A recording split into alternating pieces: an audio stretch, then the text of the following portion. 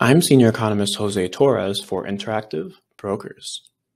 In this lesson, I'll be explaining one of the lagging economic indicators of the European Union's economy gross domestic product, or GDP. GDP is a measure of the overall size of the economy. It's used globally as a report card of how large an economy is and the speed at which it is growing or contracting at. It's calculated with the sum of the final uses of goods and services measured in consumer prices minus net exports, the difference between exports and imports. GDP is calculated by Eurostat, the statistical office of the European Union. Each country's national statistical office submits their GDP estimates after compiling information from many different sources, including population censuses, employment registers, income taxes, and surveys on labor force, labor cost, and business production. Eurostat collects the information and then performs aggregations and weightings. The data release aggregates GDP data for the Euro area 19 nations that use the euro currency, and separately aggregates data for the European Union 27 nations to include the countries that don't use the euro currency. The data release is published quarterly, generally near the 30th day of the month, one month after the reference quarter at 9 a.m. London time.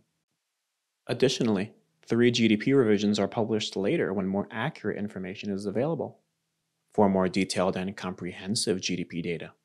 The annual GDP report provides details including growth data by industry, consumption growth, investment growth, income growth, and is released in the June following the referenced year.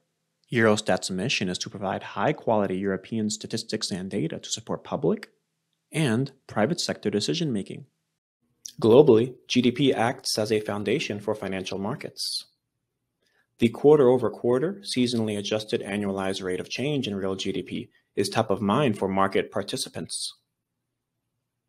In addition to adjusting for seasonality and inflation, the headline number tells us whether an economy is growing quickly, slowly, or whether it is in recession.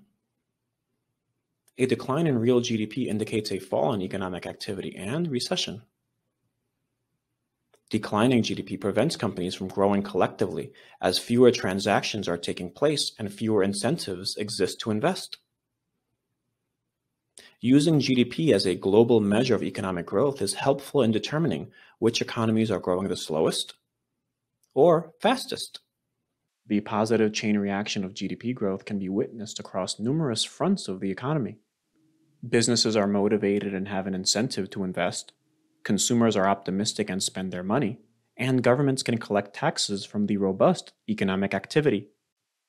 This results in increased wages for workers, increased revenue and profit for businesses, and greater fiscal flexibility for governments. If GDP in the EU is declining, there's a chance that GDP will decline around the world due to the influence Euro consumers, businesses, and investors have as the Euro economy comprises 15% of global GDP.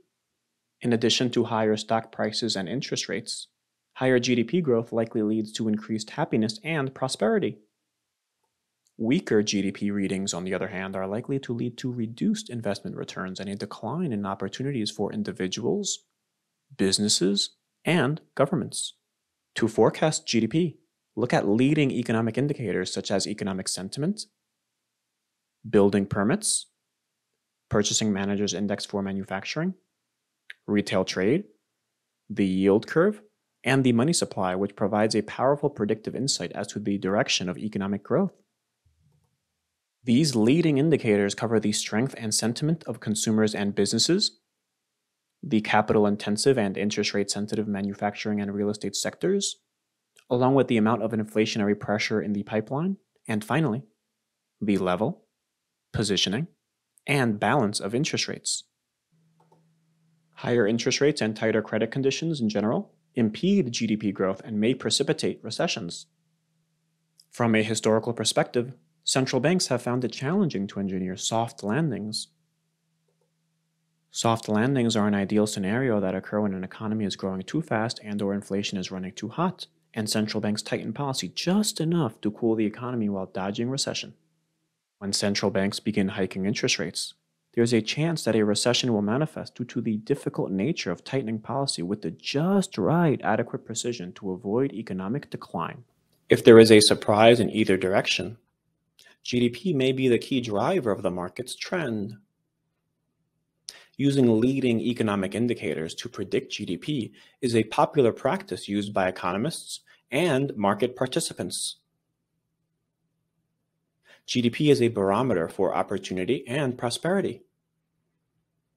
When making global investment decisions, it is critical to keep track of economic trends and analyze the acceleration, slowdown, or reversal in GDP. Strong economic growth will likely result in strong financial asset growth. Financial asset values won't sustainably grow